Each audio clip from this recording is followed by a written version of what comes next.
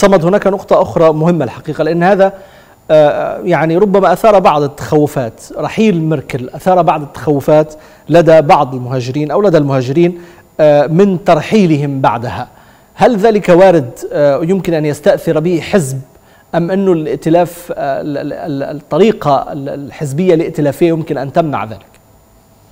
ألمانيا دولة المؤسسات وليست دولة الأشخاص فمكوث ميركل أو أو أو مغادرتها السياسية ليس هذا هو المحور الذي قد يؤثر سلبا أو ايجابا في مكوث اللاجئين.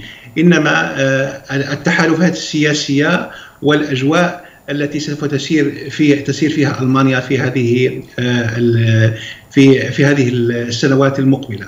هل سوف يعني تسقط في أفخاخ اليمين المتطرف الذي يحاول ان أن يجعل هناك تضاربات بين مكونات المجتمع المختلفة ام أنها سوف ترجع إلى أصلها كونها أنها دولة ليبرالية دولة ديمقراطية وتعطي لكل ذي حق حقه.